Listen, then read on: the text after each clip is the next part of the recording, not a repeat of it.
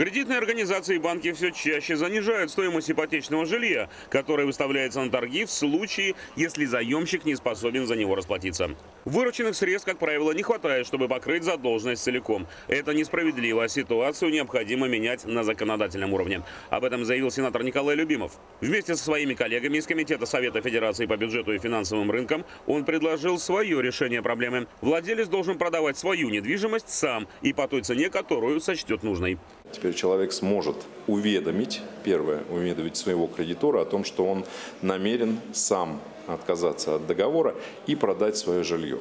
Он направляет это кредитору, ну, в банк, допустим, обращение, а банк в течение 10 дней должен ответить ему согласием, ну, либо мотивированным отказом каким-то. Теперь человек, э, если этот закон будет принят, соответственно, и одобрен, может сам обратиться к кредитору и начать продавать свое имущество. У него есть для этого 4 месяца. Продавать, причем ну, по максимальной цене, которой он может. На это время, подчеркнул сенатор, любые начисления процентов на ипотечный долг будут заморожены. Причем кредитор по своему желанию может оказать содействие своему клиенту в продаже. Погасив кредит, заемщик оставляет себе разницу в деньгах за проданную квартиру.